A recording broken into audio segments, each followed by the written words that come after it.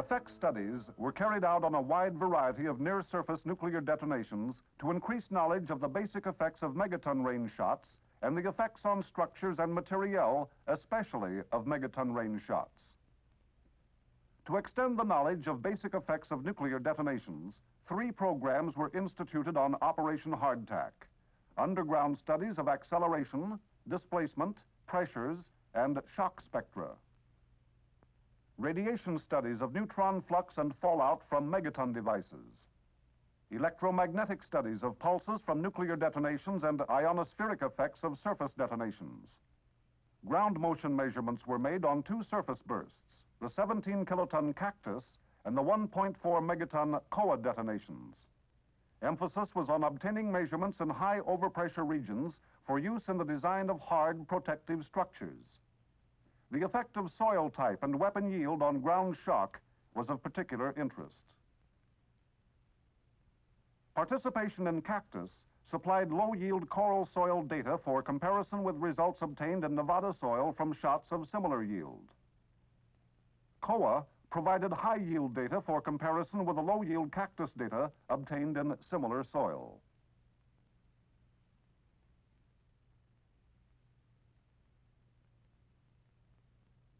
Underground accelerations and displacements produced by Koa and cactus were measured in regions where air overpressures were up to 900 psi.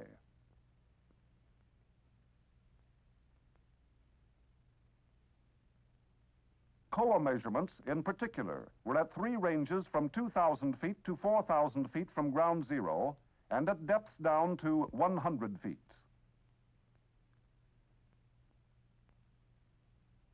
Underground pressure measurements were made with flexible drumhead gauges. These were buried at depths from surface down to 20 feet at the 200 psi range on both shots.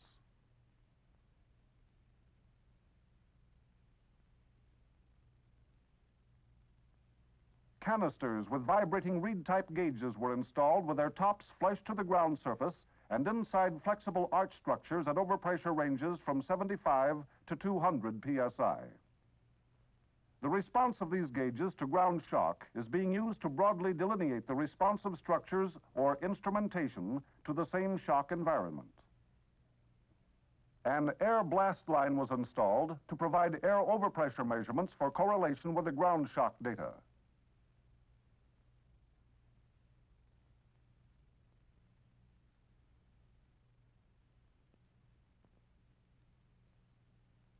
To complete the specification of the ground shock environment, crater measurements on both shots were taken by lead line and photographic techniques.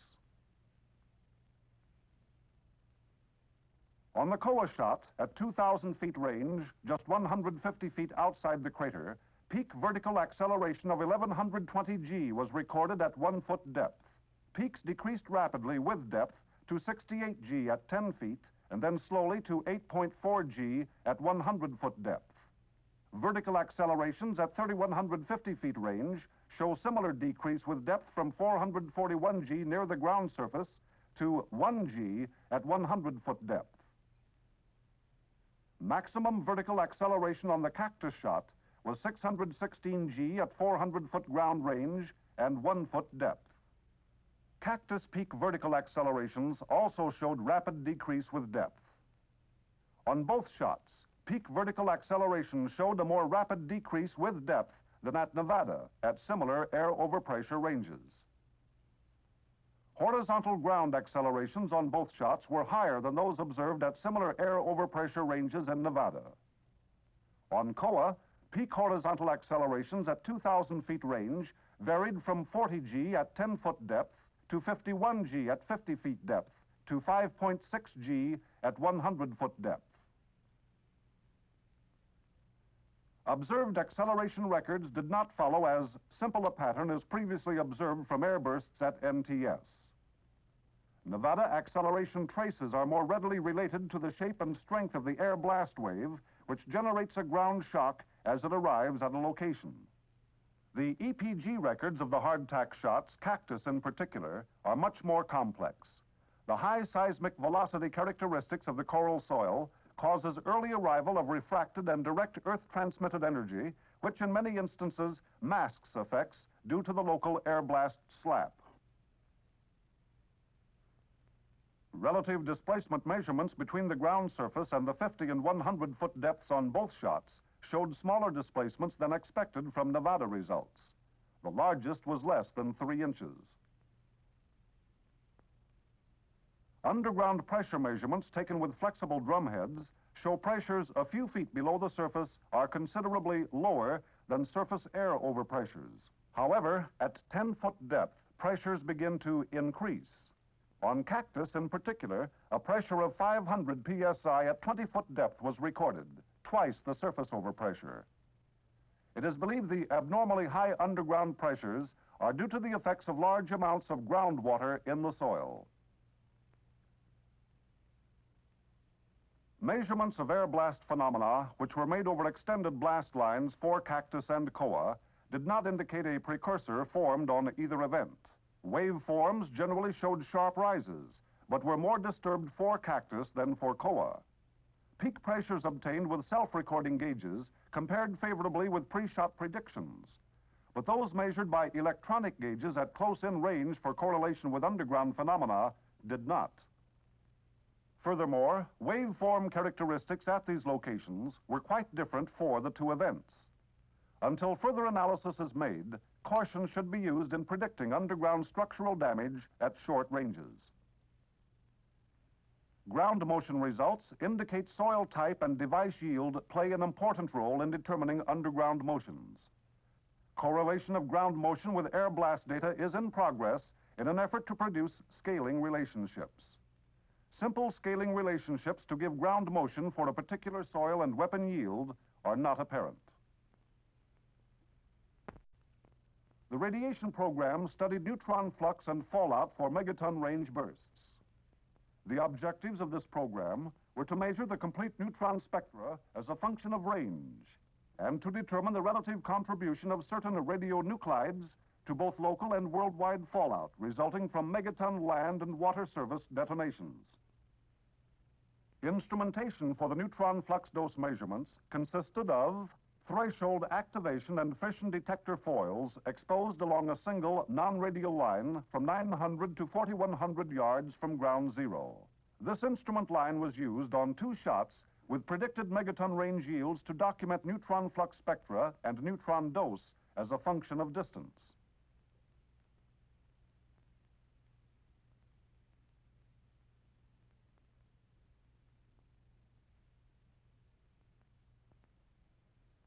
Although only limited data resulted because the radiological situation prevented early recovery of the detectors, successful measurement of neutron flux and spectra were made for a number of ranges. The measured neutron doses were found to be lower by a factor of two than the TM23-200 predictions. In the study of radioactive fallout, two methods of sample collection were programmed. First, early cloud sampling by rockets.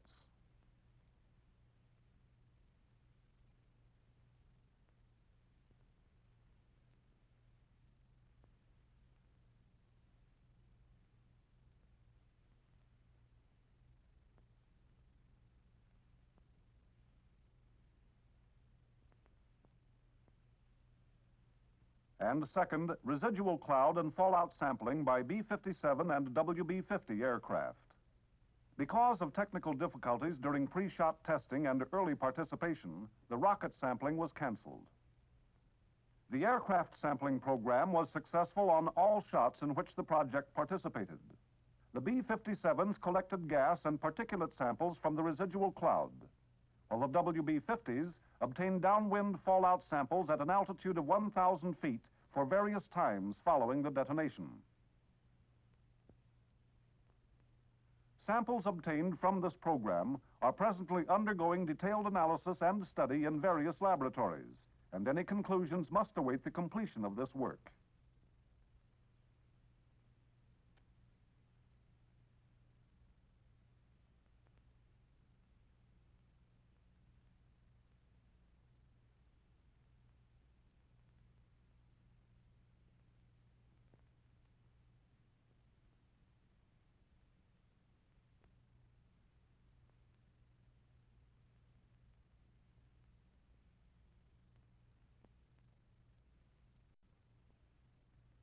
Electronic studies were made on two effects the electromagnetic pulses and disturbance of the ionosphere as a result of nuclear detonations. To record the waveform of the electromagnetic pulse, two stations, positioned 100 miles and 460 miles respectively from the burst point, made broadband measurements from 0 to 10 megacycles. Signals received by vertical probe antennae were fed into oscilloscopes and the resulting waveform was photographed. These studies were made on seven different shots, including the Yucca balloon detonation. From a comparison of this information with actual shot data, it is hoped that the electromagnetic pulse can be used to approximate total yield when the time and location of the nuclear detonation is known. To study the disturbance of the ionosphere as a result of surface detonations, a C4 type vertical ionospheric sounder was installed at Kusaie Island, 460 miles south of Eniwetok Atoll. Similar equipment was located at Wake Island. These sounders emit 50 millisecond pulses at 60 pulses per second, with frequencies from 1 to 25 megacycles. After the signals are reflected from the ionosphere, the received signals are displayed on oscilloscopes as traces. These traces were then photographed for later analysis. The results of this experiment agreed with similar studies made on Operation Redwing. The energy responsible for the first ionospheric disturbance travels at about 12.5 miles per minute. The energy responsible for a second disturbance travels at about 8 miles per minute. In addition to the basic effects program, other experimentation was conducted on material reactions to nuclear detonations. These studies were concerned with aircraft structural tests, underground structures, electronic fuse components, thermal studies of skin simulants and uniform materials, and material ablation. In the aircraft structural effects program, the delivery capabilities of three aircraft types were examined. The B-52 first tested on Operation Redwing, and two Navy carrier planes, the A-4D and FJ-4, both of whose responses to inputs from low-yield nuclear bursts were measured during Operation Plumbob. The objectives of this program were to measure the structural responses of these aircraft when subjected to the effects of high-yield nuclear detonations.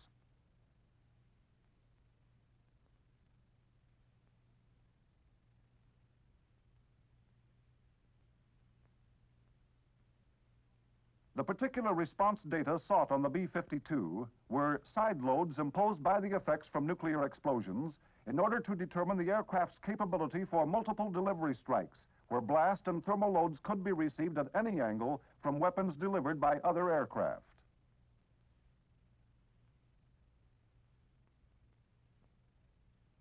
Overpressure input measurements for the B-52 proved to be approximately 10% less than predicted.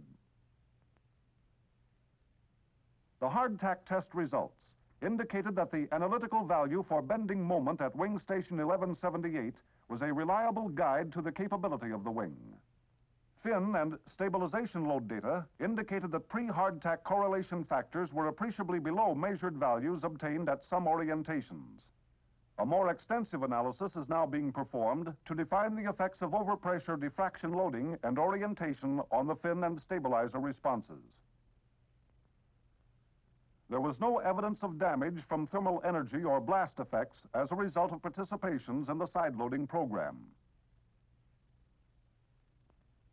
To aid in structural analysis of the A4D and FJ4, a method was employed for measuring transient input conditions on the wing as it was engulfed by the shock wave. This procedure utilized data obtained from several series of chordwise pressure pickups. Correlation data were obtained to examine the diffractional pulse and confirm the structural analysis by progressing from the shock waves measured overpressure input to measured aerodynamic reaction resulting from this overpressure, and hence to measured dynamic response of the structure.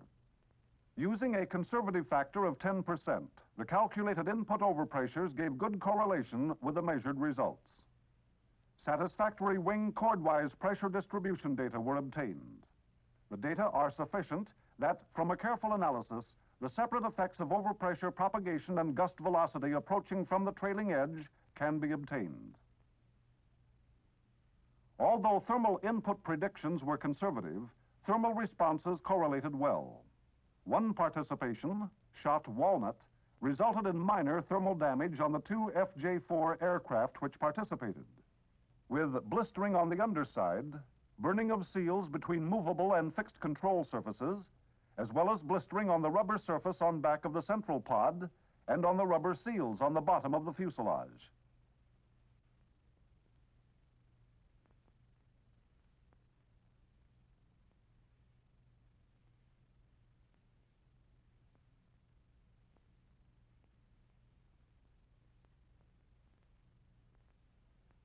The underground structure study was made in conjunction with the ground motion studies previously shown. This program was carried out on hardtack in order to provide input data for designers of hard protective structures. Previous studies have been confined to low yields and Nevada soils. These structures, prefabricated corrugated steel flexible arch structures, were the targets for design studies on underground structural response to air blast and ground shock the next step beyond the Priscilla findings of Operation Plumbob. Positioned in non-drag sensitive earthwork configurations of coral sand, they actually simulated balanced cut and fill buried structures. Inside the structures, floor slab accelerations, arch deflections, and internal pressures were measured.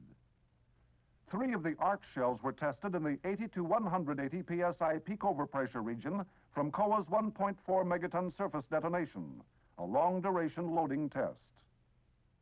Another was placed in the 90 psi peak overpressure region from the Cactus 17 kiloton burst to permit correlation of the effects of short-duration blast loading in a similar configuration. The cactus tested structure, shown here, a 25-foot span by 48 feet, arch structure of 10-gauge metal, partially collapsed on the side away from ground zero. The collapse was apparently initiated by bearing failure of the shell plates at a bolted horizontal seam, about five feet above floor level on the collapsed side.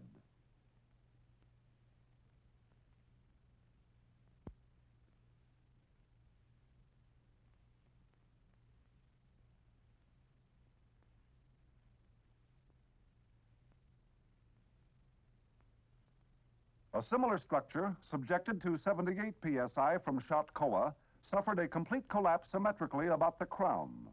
The same effect was observed on a nearby 38-foot span by 40 feet arch structure of one-gauge metal under 100 psi peak overpressure from Koa. At 180 psi, another 25-foot span 10-gauge structure collapsed until the crown touched the floor. High radiation levels on the Koa exposed structures delayed complete recovery operations for a number of months. Pending full analysis, it appears that the Plumbob design recommendations for this type structure are still valid. To establish design criteria for ICBM and other massive reinforced concrete structures under blast loads, thick reinforced concrete slabs were placed in Koa shot's high pressure regions, 175 to 600 psi, for dynamic behavior study. For this test, 30 slabs with reinforcing in one direction and 15 slabs with reinforcing in two directions were cast with spans of six feet and varying depths up to five feet.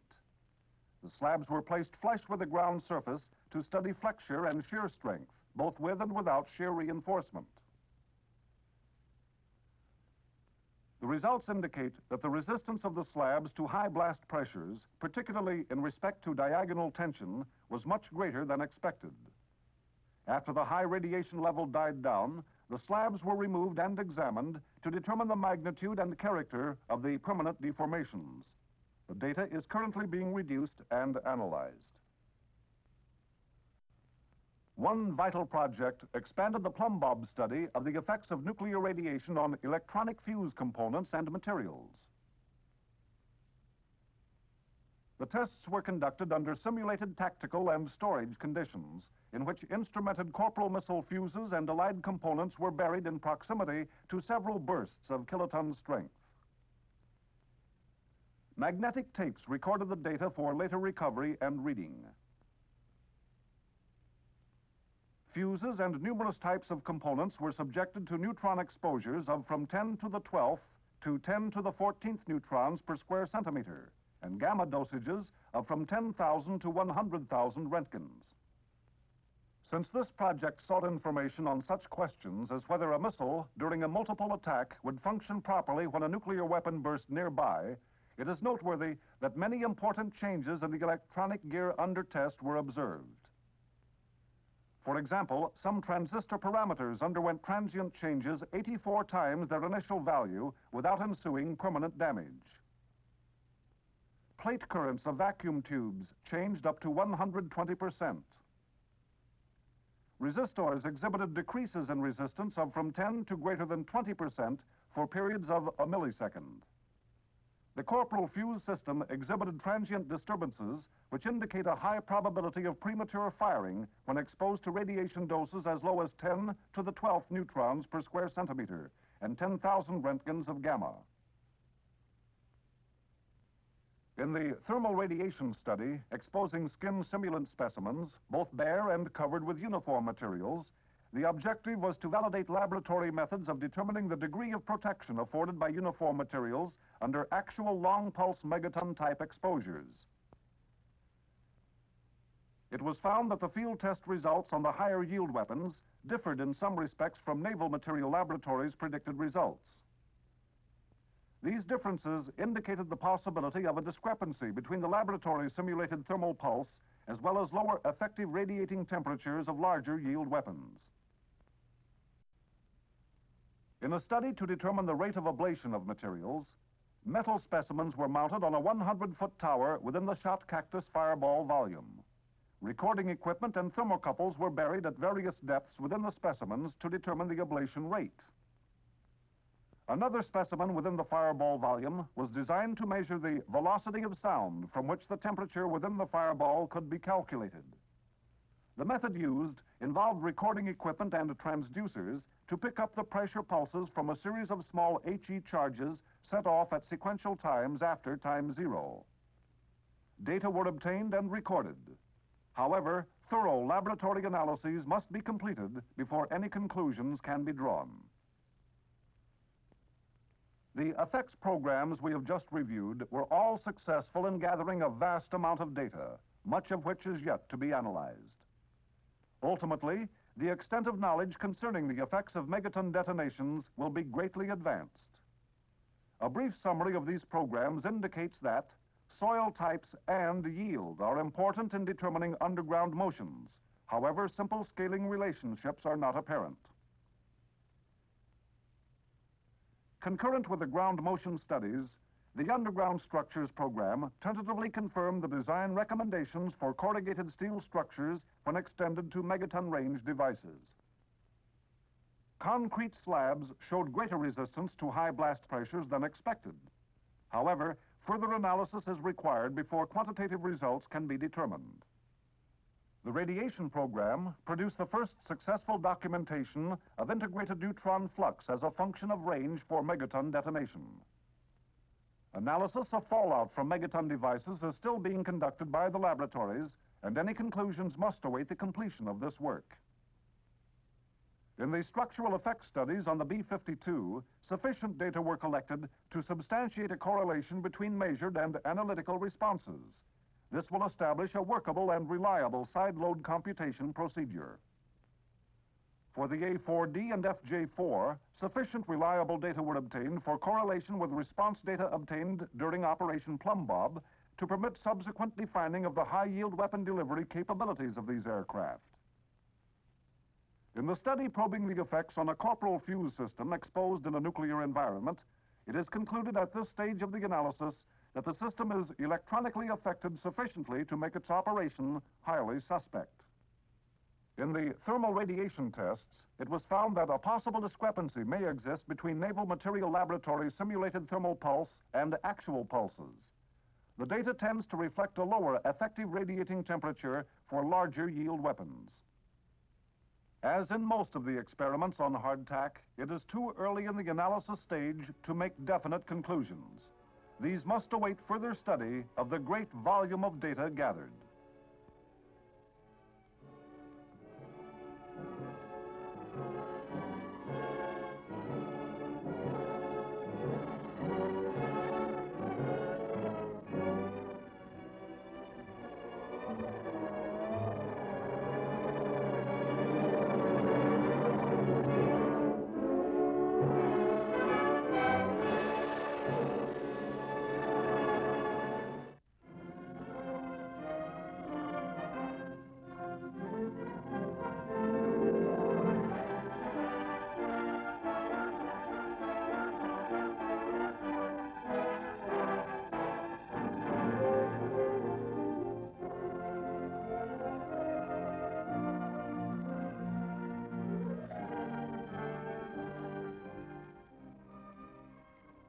Today's increasing international emphasis on long-range ballistic missile activity raises to priority attention the mastering of high-altitude burst effects phenomenology.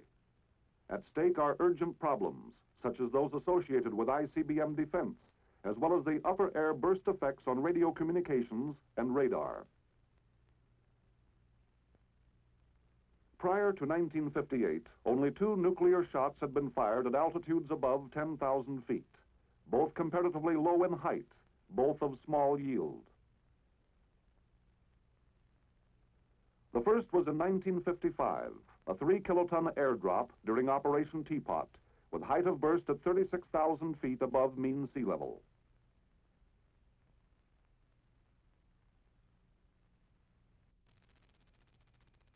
The other occurred in 1957 during Plum Bob.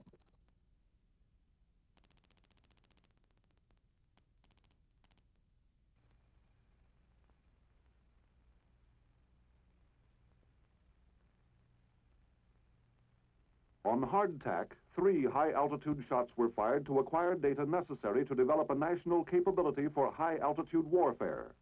Yucca, a 1.7 kiloton device suspended from a balloon, and Teak and Orange, both 3.8 megaton devices carried by Redstone missiles. All were fired to obtain effects data for the fulfillment of three general objectives. First, to find out how extreme altitudes affect the partition of energy in a nuclear detonation, and what is the radial extent of the various phenomena. Second, to determine scaling laws for various effects as a function of altitude and yield. Third, to determine the effects of high altitude bursts on the ionosphere and on the propagation of radio and radar signals. To gain these objectives, specific effects tests were carried out to provide a basis for a theoretical understanding of the phenomenology of high-altitude bursts.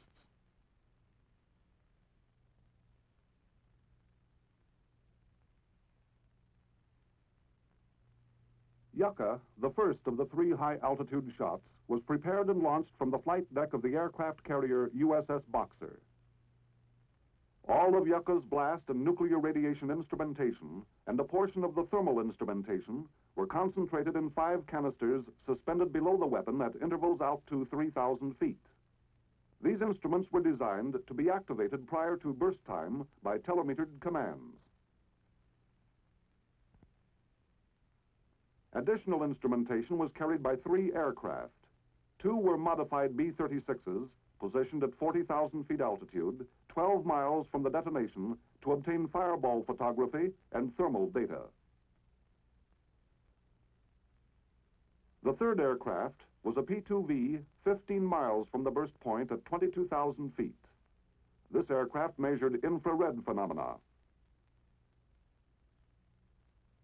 At 1125 hours on 28 April, when the Yucca balloon was released, the USS Boxer was operating about 90 nautical miles northeast of Nan Island, Bikini Atoll, maintaining a deck wind velocity of near zero.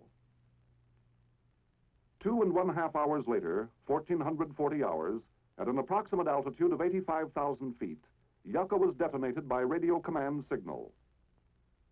Failure of the telemeter command transmitter to activate the canister instruments prior to burst time resulted in almost complete loss of data from the balloon dragline equipment. The aircraft-mounted instrumentation provided excellent data. Here is a rundown on the results of the Fireball studies. Yucca produced a bright fireball with a center core, which rapidly developed into a toroid similar to the teapot and plumbob altitude shots. The major part of the thermal pulse lasted about 30 milliseconds, with some perceptible signal for as long as 500 milliseconds. A double maximum was observed in the first part of the pulse, followed by a minimum at 2 milliseconds, then a second maximum at about 13 milliseconds. High-speed spectrograph recordings were made. These showed that during the first 100 microseconds, there were definite discrete absorption spectra in the continuum. Between 100 microseconds and 2 milliseconds, the spectrum was essentially continuous with little or no discrete structure. As the intensity began to rise beyond the minimum, there was a marked appearance of discrete absorption, continuing to just beyond the maximum at 13 milliseconds. After waning, the discrete absorption was replaced by discrete emission lines or bands which persisted for the remainder of the bomb pulse. As for Yucca results in the infrared tests, instrumentation aboard the P-2V showed no observable infrared emission. The Teak and Orange missile shots were fired from Johnston Island, about 720 nautical miles southwest of Honolulu. Experimental arrays on Johnston for these two shots were essentially identical. Project stations were crammed on Johnston and Sand Islands, supplemented by other stations in Hawaii, in aircraft and on shipboard.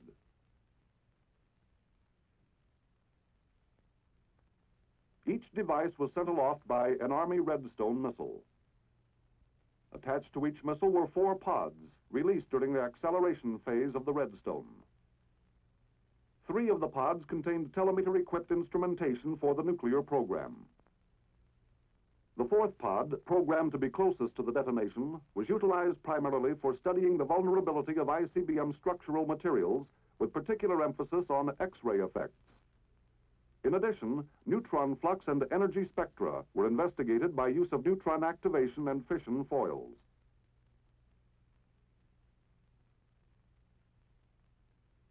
The first of the two missile shots, Teak, was launched on 1 August. It was planned to detonate at 250,000 feet, approximately six miles south of Johnston Island. However, due to a programming failure, it burst directly over the island at the desired elevation.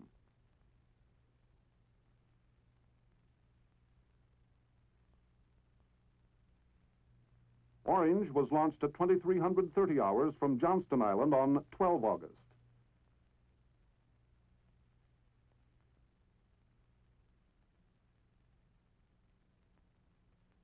It was detonated at an altitude of 141,000 feet, approximately 26 miles south of the island. At time of burst, middle clouds covered the island.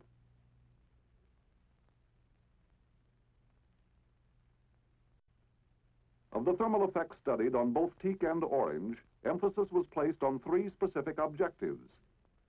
First, to record fireball size and growth. Second, to measure irradiance of the thermal pulse from 2,000 angstroms, far ultraviolet, to 120,000 angstroms, far infrared. Third, to determine the spectrum of the thermal pulse. Infrared studies on the size, duration, and spectral intensity of infrared emissions were made, with the immediate objective of providing input data for the designers of infrared guidance systems. For the measurement of thermal effects, the same aircraft stations and instrumentation as those on Yucca were used. The teak fireball expanded very rapidly for the first 100 microseconds, reaching a diameter of 10 miles in 10 milliseconds. The teak infrared fireball was almost 40 miles in diameter at h plus one second, after which it disappeared quickly. The orange fireball expanded more slowly, reaching a diameter of approximately 1.5 miles in 10 milliseconds. The orange infrared fireball, although of the same diameter, lasted somewhat longer than teak. Teak produced a single thermal peak at about 500 microseconds, decaying to less than 25% of the peak value in about 10 milliseconds. The corresponding times for a sea level burst would be 2 seconds to second maximum, and 6 seconds for the pulse to decay to 25% of peak radiance. The rapid expansion of the early fireball was spectacularly different from a sea level shot. The lower orange shot showed a transition situation with a thermal pulse indicating some of the characteristics of a lower altitude shot, intermediate between teak and surface bursts. There were two peaks, the first of brief duration reaching a maximum at 500 microseconds, and the second consisting of a broad flat maximum lasting from 100 to 300 milliseconds. The spectra of orange consisted of a strong emission continuum with molecular band absorption superimposed. It was followed by molecular band emission beginning at the tail of the thermal pulse. Spectrographic analysis of teak, however, showed no observable continuum. Strong emission bands of excited nitrogen and oxygen were predominant. As a part of the thermal studies, a biomedical project examined the hazard of chorioretinal burns utilizing rabbits for the tests. Damage by thermal energy to the retina or to the choroid will leave permanent scars or lesions which will not result in impairment of vision, nor is pain associated with such burns. However, if the burn occurs on the macula, loss of central vision and visual acuity will result. The phenomenon of chorioretinal burn is distinct from that of flash blindness, which is the temporary loss of vision resulting from lesser amounts of thermal energy than that required to produce burns on the inner eye. For the teak shot, animal stations were located on Johnston Island, on aircraft and ships out to 300 nautical miles. Each station had instrumentation to record the thermal input and cameras to record the visibility and the attitude of the rabbit's eyes at time of burst. For Orange, there was no station on Johnston Island. The station farthest from the burst was an aircraft at 225 nautical miles at an altitude of 24,000 feet. On teak, chorioretinal burns were produced on all rabbits exposed, except on the surface ship at 300 miles, where clouds and ship roll may have prevented the rabbits from viewing the initial flash. On Orange, cloud cover interfered with the surface stations, but burns were received in the aircraft at 225 miles. Retinal burn diameter consistently correlated with distance from burst zero. The lesions produced at all exposure stations within 160 nautical miles were of sufficient size and severity to result in permanent retinal damage or severe loss in visual acuity.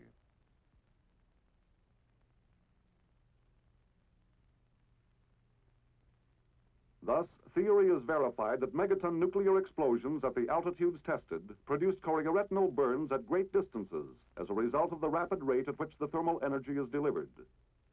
Most of the energy is delivered before the effective blink reflex time of 250 to 350 milliseconds for rabbits and 100 to 150 milliseconds for man. The Teak and Orange Blast program obtained surface and near surface air blast pressure time measurements. Instrumentation included standard pressure time and very low pressure self-recording gauges located on ground baffles, on 34-foot towers, and on ships backed up by electronic recording gauges. For both shots, the pressure values measured were considerably lower than predicted by conventional methods.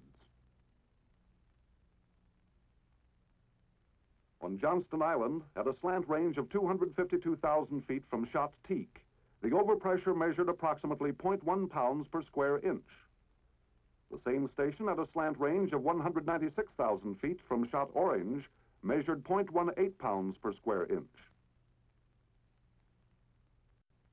The nuclear program objectives were to seek data first on neutron flux and energy versus range, and secondly, on gamma radiation.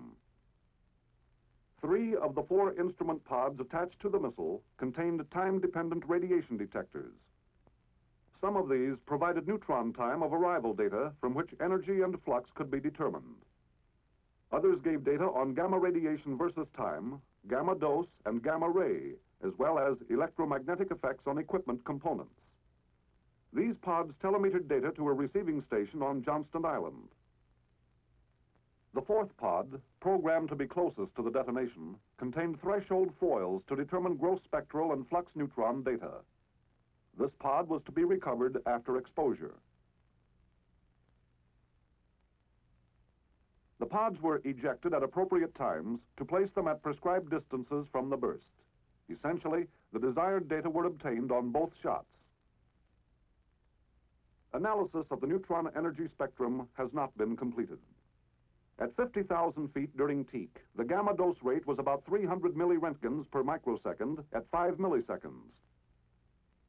During orange, the gamma dose rates at 5 milliseconds were about 1,000 milliroentgens per microsecond at 30,000 feet slant range and 10 milliroentgens per microsecond at 100,000 feet.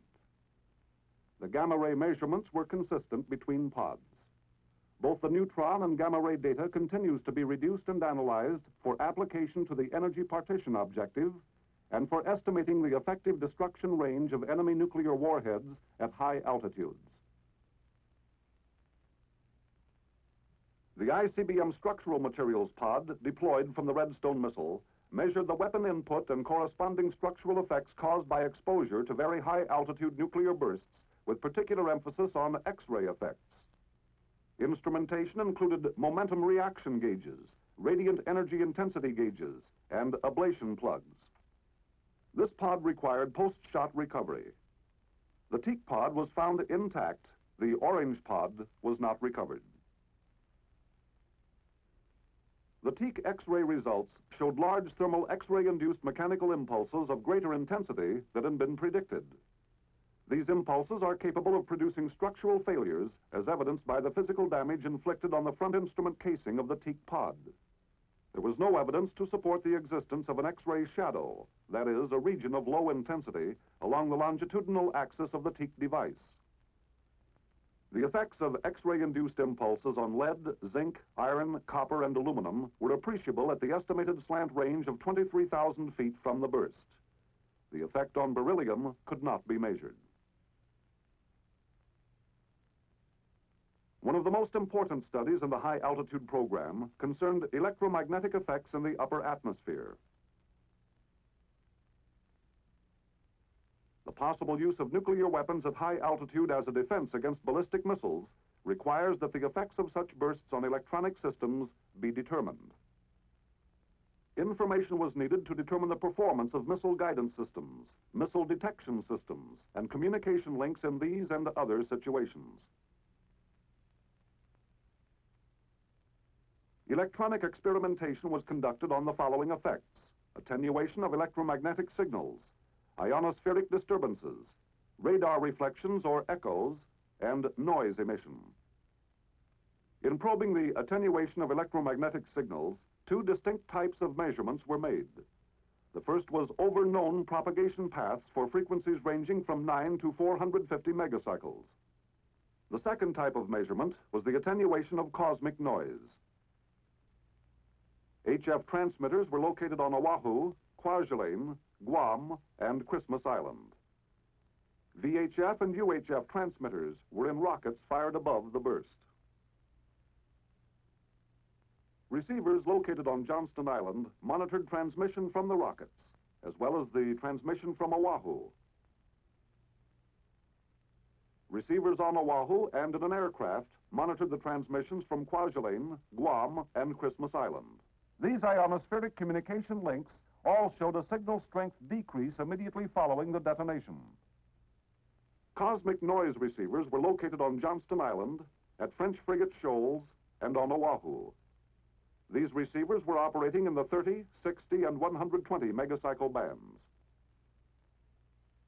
The normal nighttime ionosphere will give echoes from the F layer when probed with pulses in the frequency range of 1 to 25 megacycles. An ionospheric recorder examining these reflected pulses was located on Johnston Island, and another in an aircraft whose mobility could probe the extent of any ionospheric disturbance. Radar reflection from the burst were studied in the 10 to 10,000 megacycle range using a variety of service equipment and five specially constructed sets. Radar sites were located aboard the motor vessel Acania, moored at Johnston Island, and in a specially instrumented aircraft. At zero times, the aircraft was 225 miles from Teak and 125 miles from Orange. In addition, AN/CPS-9 weather radars were located on Johnston Island and Maui Island, Hawaii. For shot Teak, the VHF radars aboard two destroyers at sea, approximately 75 and 150 nautical miles from Johnston Island, were utilized. These sets were not employed on shot Orange. Prior to burst time, radar echoes were being received from clouds, aircraft, and miscellaneous objects. Monitoring of noise emission in the 10 to 1,000 megacycle frequency range was conducted on equipment utilized for other studies. Additional instruments were provided to detect noise at frequencies of 31, 113, 10,000, and 35,000 megacycles. These additional instruments were located at Oahu, Johnston Island, and aboard an aircraft. A brief recapitulation of the findings in line with the general objectives sought from teak, orange, and yucca shows first that high-altitude nuclear detonations are characterized by the rapid development of energy phenomena. The partition of this energy for teak and orange manifests itself quite differently from surface and lower air bursts. Much less force is transmitted by blast, while thermal and nuclear radiation are both more intense and extensive in area. Most spectacular was the extent of the fireball growth on teak, the highest of the three shots, a diameter of 10 miles in 10 milliseconds, accompanied by a striking visual aurora.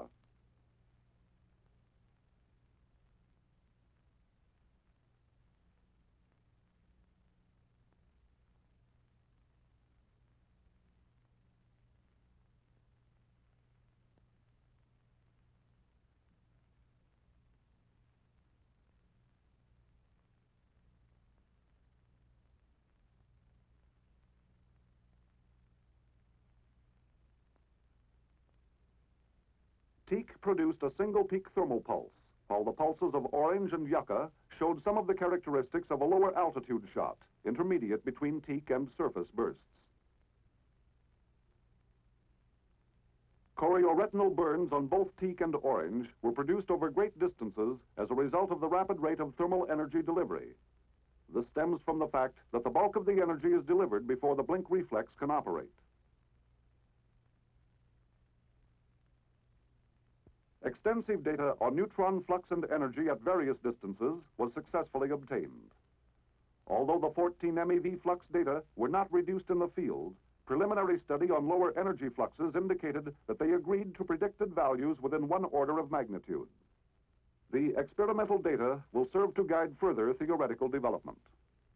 The consistent gamma dose rate and dose data obtained with the pods give fundamental information on this radiation under the conditions of the new environment.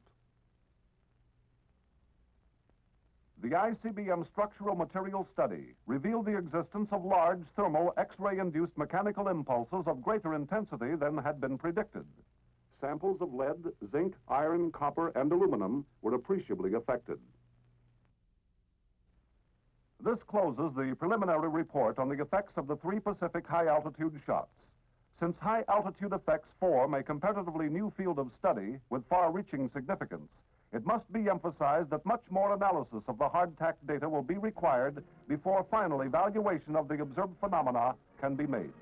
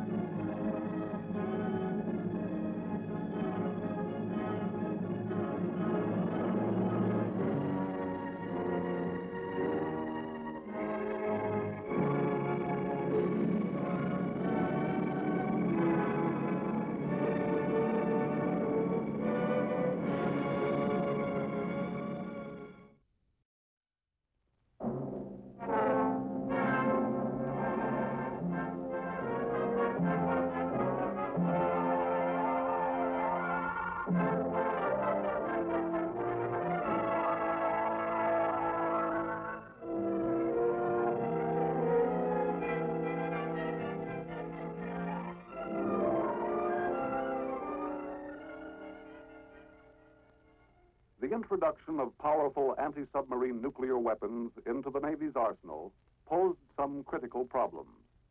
What are the safe standoff distances for various types of vessels operating in the vicinity of subsurface nuclear weapon detonations? And what are the kill ranges for various types of ships? Some of the answers were on hand. Information gleaned from the 1946 shallow water Crossroads Baker shot.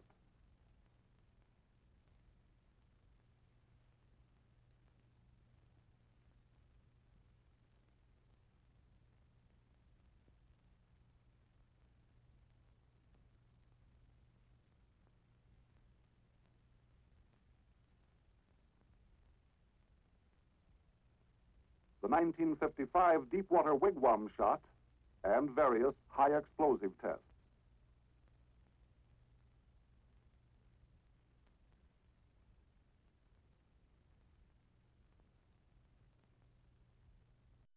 The 1958 underwater testing on Operation Hardtack at the Eniwetok Proving Grounds provided supplementary effects data needed to answer naval tactical questions and supplied a host of other vital basic effects information through its two underwater tests, the Wahoo deep water shot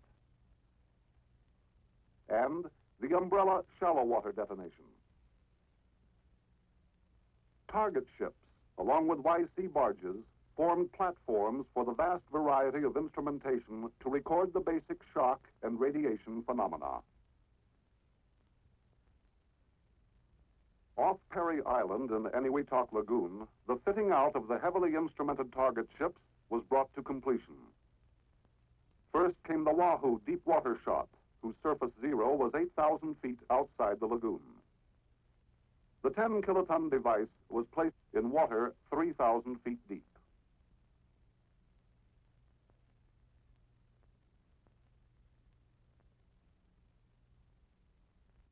Downwind from surface zero, the three unmanned target destroyers were moored in line,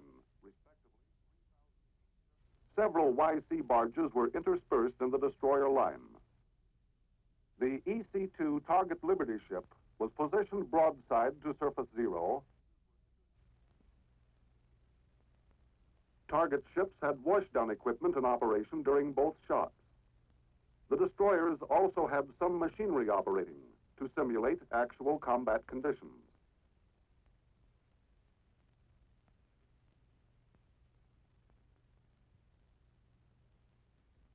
The manned submarine Bonita was submerged at periscope depth. Further out were a number of active manned ships, including the submarine Sterlet. H hour for the deepwater shot was 1330 on 16 May.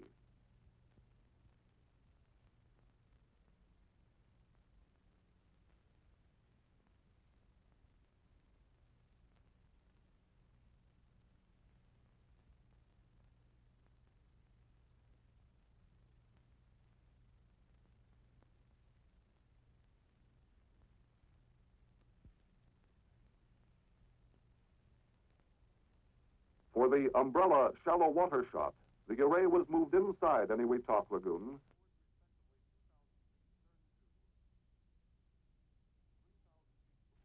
H hour for the shallow water shot was 1115, 9 June.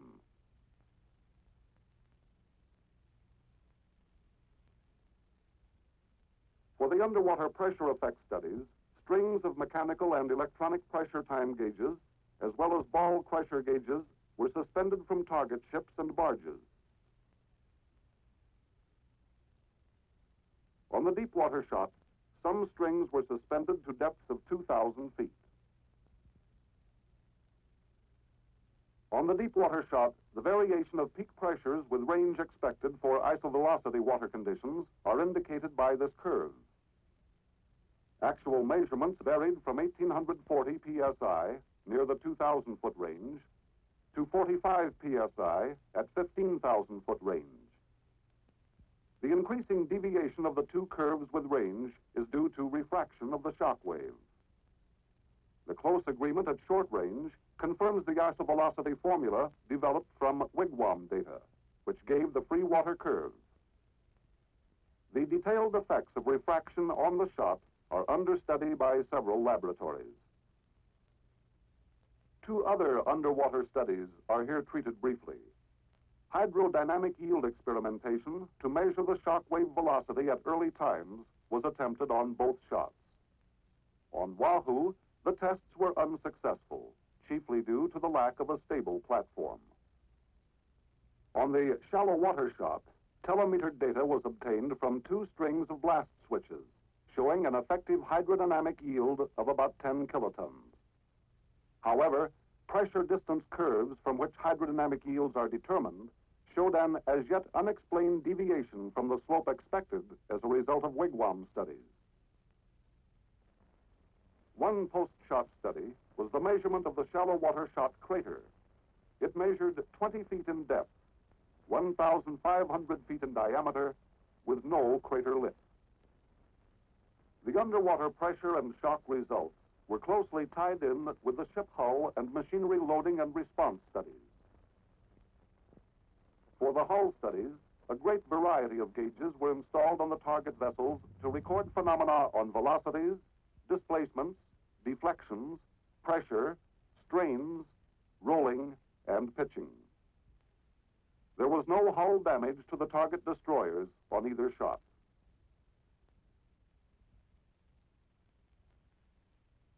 Damage from the two shots to the EC-2 merchant ship hull was light, much less than expected.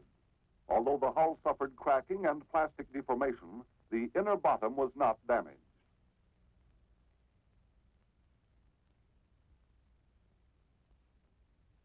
For that portion of the testing devoted to shock response and damage to critical ship machinery and equipment, several hundred instruments and self-recording shock spectrum gauges were used, along with 40 high-speed motion picture cameras. On the deep water shot, damage to the destroyer propulsion and auxiliary machinery was negligible. On the shallow water shot, the closest destroyer suffered enough machinery damage to make continued operation questionable. Damage on the other two destroyers was minor. The EC-2 received crippling damage to machinery and equipment, as with the destroyers. The hull alone could take more shock and pressure than the machinery and equipment. One word of caution. All figures throughout this report refer to results obtained under the Wahoo and umbrella conditions. That is, shot yield and geometry, oceanographic conditions, and ship types involved. Now we will consider the submarine on which data was obtained to determine lethal damage ranges to hulls and equipment.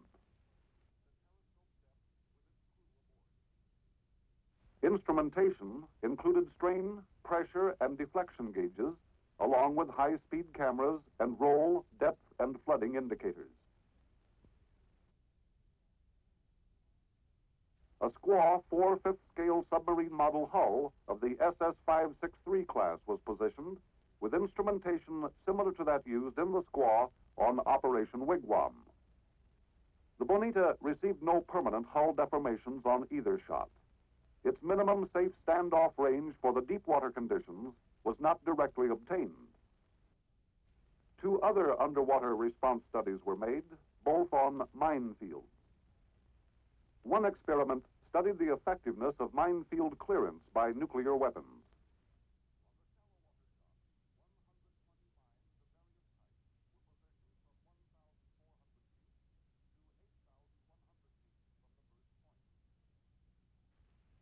The other mine experiment, also conducted on the shallow water shot, was concerned with the mine actuating influences of nuclear weapons.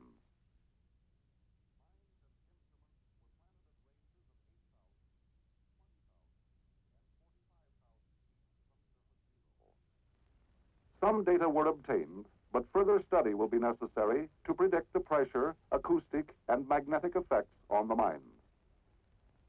We will now examine the Wahoo and umbrella studies on visible surface phenomena, the dimensions and extent of spray domes, base surge, and waterways. On the deep water Wahoo shot, the rounded spray dome rose to 900 feet. This was immediately followed by a bubble pulse which sent numerous water plumes in a spherical pattern to a height of 1,750 feet.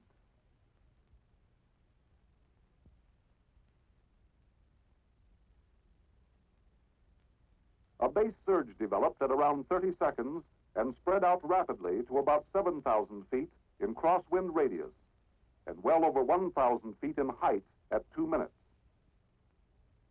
The surge was irregular in size and consistency. It was carried downwind beyond the target ships and was barely visible at 12 minutes after the burst. Water waves from Wahoo almost doubled in height as they approached nearby islands raising the water level some 12 feet over the closest island.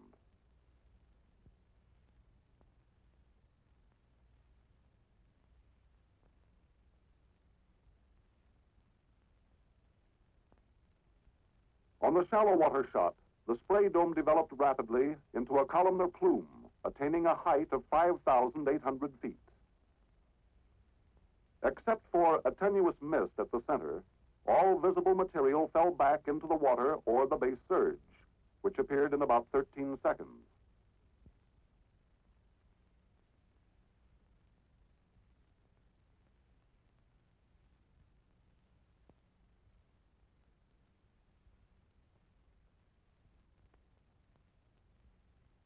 At 75 seconds, the surge was about 1,850 feet high. And at 7 minutes, its crosswind radius was around 9,500 feet.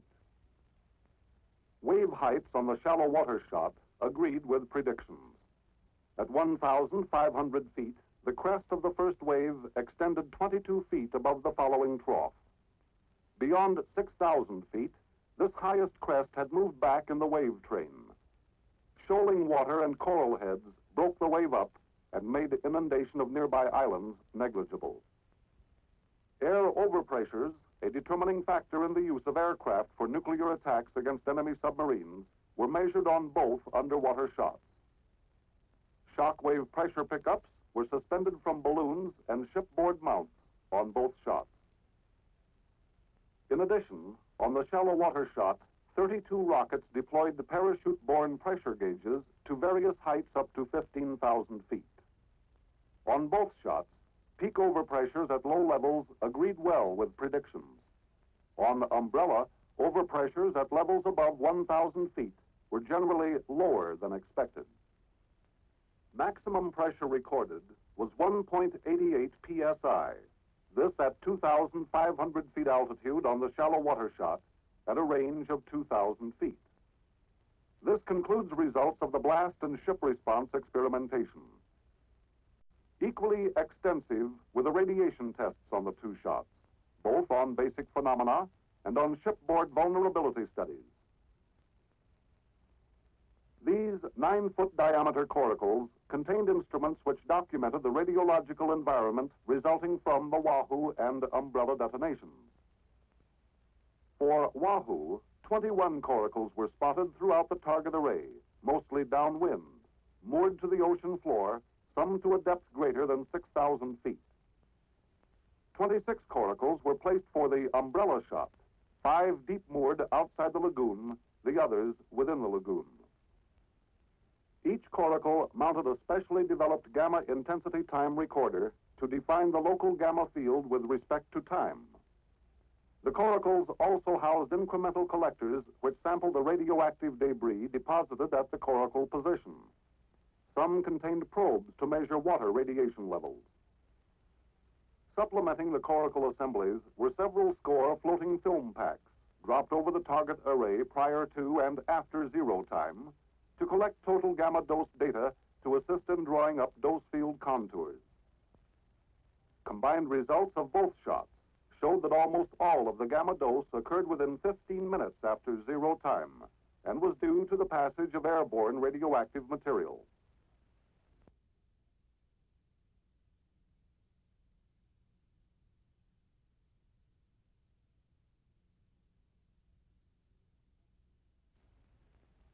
In the shipboard radiation vulnerability study, gamma intensity time recorders of both the unshielded and directionally shielded types were used to document gamma radiation phenomena aboard the target destroyers, both on deck and in compartments. hundreds of film badges were also placed all over the ships.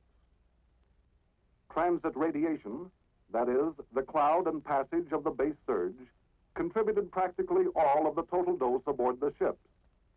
The underwater dose and the deposited ship contamination were insignificant.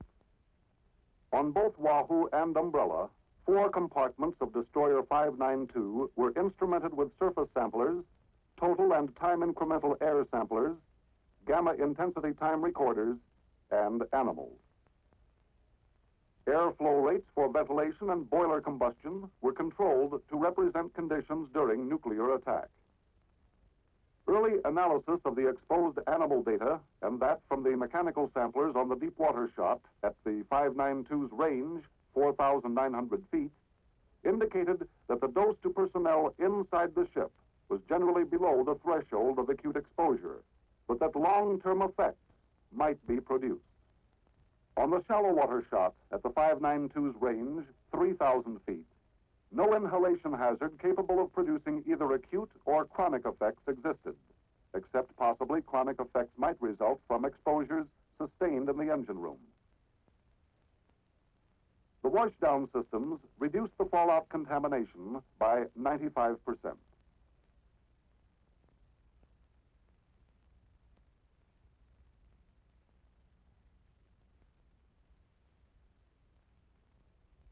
In summing up, one conclusion towers over all the other underwater test findings on safe standoff ranges. This conclusion is that under the conditions of these tests, radiation dangers dictate ship locations far beyond their hull and equipment shock limit capabilities. The two underwater shots on Operation Hardtack extended our knowledge of nuclear underwater blast, shock, and radiation effects. A great deal of information was gained which upon completion of analysis will help to provide answers to naval tactical problems.